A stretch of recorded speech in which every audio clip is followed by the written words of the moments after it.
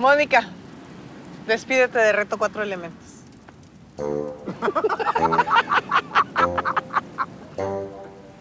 A todos mis niños que me siguen, que me admiran, que lloraron la primera vez que salí.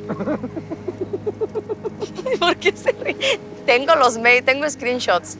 No, en serio, gracias a toda la gente que creyó en mí, a toda esa gente que me apoyó, a toda la gente que está viendo este reto, que los estamos inspirando de alguna manera para hacer deporte, para ir más allá, para hacer lo que nunca se habían imaginado gracias a este reality porque todos salimos diferentes de este reality, más fuertes, más seguros y pues más famosos, ¿no? También.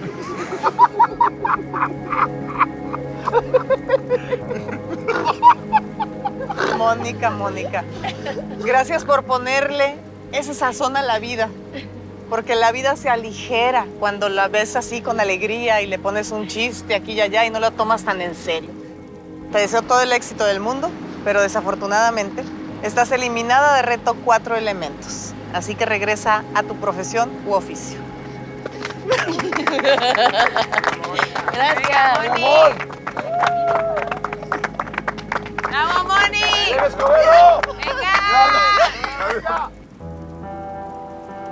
Para mí fue un gran regalo de vida haber podido regresar al reto Cuatro Elementos. Me hizo darme cuenta que el miedo únicamente te frena. Le metimos fuego al reto Cuatro Elementos, le metimos fuego a la aldea. Me voy bien, siento que, que cumplí mi cometido. Todos los fantasmas que traes no sirven para nada. La pena no sirve para nada, sirve más el arrojo, sirve más atreverte, sirve más aventarte, arriesgarte, porque sí te vas a caer, pero te vas a levantar y te vas a levantar más adelante que si no lo hubieras intentado. Conocí gente que, que me la perdí en la primera etapa del reto Cuatro Elementos.